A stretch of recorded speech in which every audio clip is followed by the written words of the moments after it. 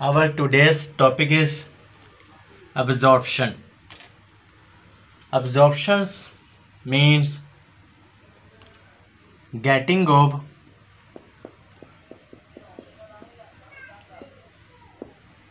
one thing by another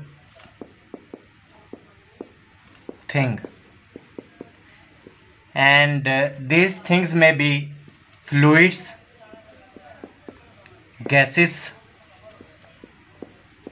or solids. Getting or dissolving or permeation of a substance by the body is called absorption in biology. Permeation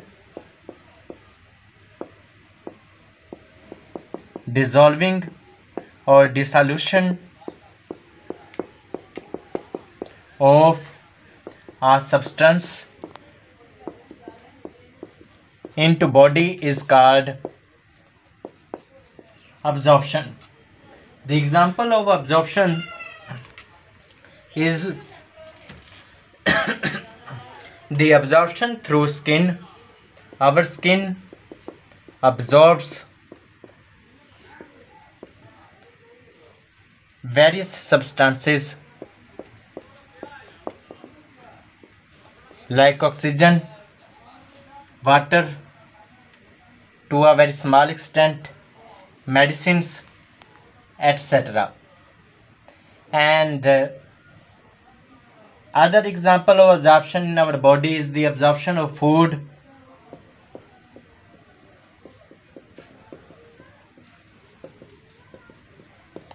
across small intestine. Food is digested until it reaches the last part of small intestine and after the digestion of the food it is absorbed into the blood which is present around the small intestine. Another example of the absorption in the body is the absorption of water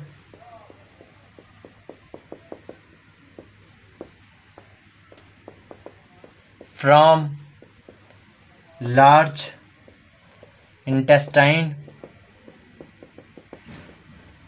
into blood which is present around the large intestine.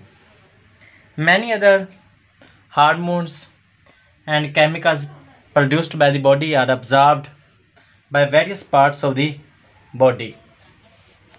So absorption is an important process in biological systems